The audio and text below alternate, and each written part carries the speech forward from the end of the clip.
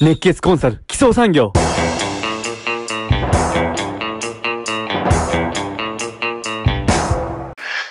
太陽光発電とかで、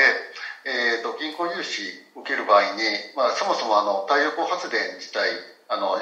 山の斜面とかあの評価が高くない土地であのパネルを引いてるケースが多いんですけれども、まあ、そもそもどういうことをあの担保というか、えーそういうもので融資を受けてるんでしょうか？土地を買って太陽光をその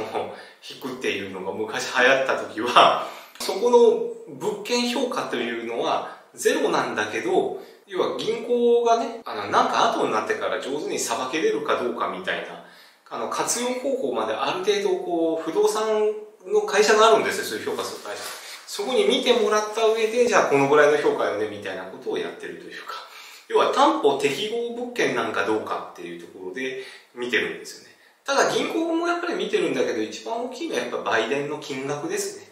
ここの部分に対して担保の見合いを見てるというか。例えば1年間で4000万その、要は収益が出る会社が、その10年間、例えばね、あと売電が残ってますってことになると、4000万かける10で4億円の評価があるというふうな感じになるんですよね。まあ、評価があくまで4億円なんで、例えばまあそれの8掛けとかね、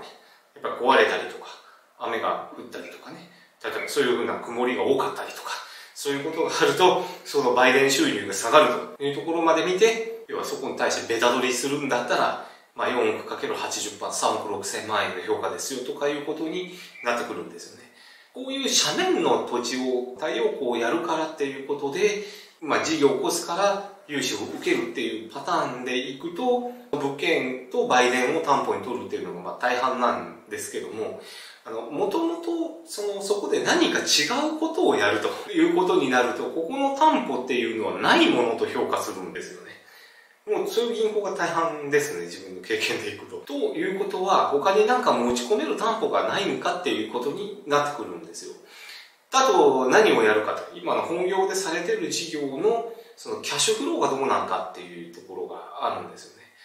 要は単体収支はあんまり信用しないんですよ。単体収支と全体収支っていうのがあるんですけど、その本業の収支がしっかりしてるっていうことであれば、こっちがそんな少々、まあ、不確定なものが多い融資であろうが、こっちがまあ、しっかりしてれば通るというか、あとまあ、自分のところがメインバンクであれば、これはちょっと助けたいというか、あの、そこの説明の仕方として一番大事なのが、あの、いや、しょうがないかなっていうふうに、銀行員が思うかどうかですね。僕もいろんな案件でこの本部にやりたいって言っても、基本本部は断るのが仕事ですから。あの、地元、例えばまあ、広島にいる、まあ、広島銀行が、例えば岡山とかね、例えば兵庫とかっていうところに、まあ、四国とか、そういったところにも視点があるんですけども、その視点からすると、新しい取引ってしない方がいいんですよね。問題を起こさない方がいいわけだから。だから、あの、基本もそこの行為もよく言ってるんですけど、断るのが僕らの仕事って言ってるから、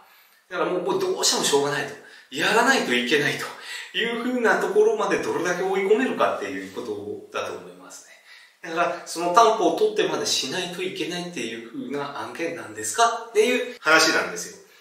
やっぱりこう何をやるかっていうことが非常に大事で、太陽光発電の事業をやるのであれば、まあ、うちのお客さんなんかでもいるんですけども、出口でもポッと資産家に売っちゃうというかね、お金を持ってる人に売っちゃうみたいな、そういうふうなところでもキャピタルゲインの方を確定させるというかね、そういう要は仕事に持っていた方がいいのかなと思います。やっぱり、あの、担保って不確定要素が多いので、あの、前、あの、金融庁検査のね、動画で話させてもらったんですけども、やっぱり不確定要素多いんですよ。